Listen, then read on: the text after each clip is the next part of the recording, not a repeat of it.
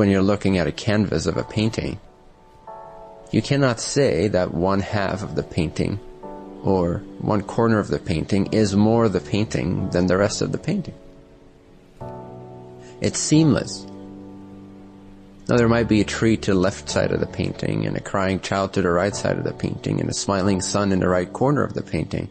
But none of these appear apart from the sky and the tree and the child and the sun. It is a seamless appearing. Right? So yes, ultimately even the appearing is not appearing. But any, any level up to that stage, it's important to realize that if we do assume that the appearance of creation is, we must at least take it as it is.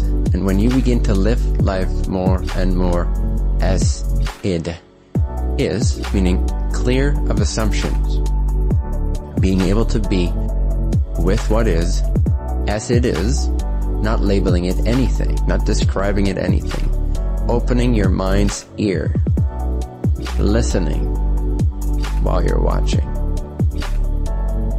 Can you listen to that which you're witnessing? So purely, so pristinely present to that which you are observing that it is as if perhaps you know the experience when you think someone called your name but you're not quite sure. Maybe you're watching a movie, or maybe there's a, a lot of noise outside, or a lot of people, but you thought you heard your mother call your name. For the following three seconds, you are the most concentrated that you've ever been in your life. Trying to wait for that next call of your voice. Isolating it above all else. Just for a few seconds you maintain pristine concentration, because there's no other intention but to see if your name was indeed being called. So can you listen with that intensity, with that nakedness, to whatever it is you're witnessing?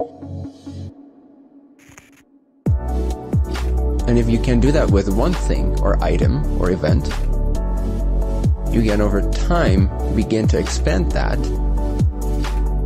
to not be focused on one thing, but be focused on life itself, the allness of it, the wholeness of it, the Brahman of it, the godliness of it, the oneness of it. So that now you're listening as if you're listening to your mother calling your voice in the middle of a crowd, completely zoomed in, yet simultaneously, with that same purity, nakedness, and concentration, you are completely expanded into an awareness of the oneness of all, and you're listening to life as it is humming, as it is beaming, as it is being, as it is appearing.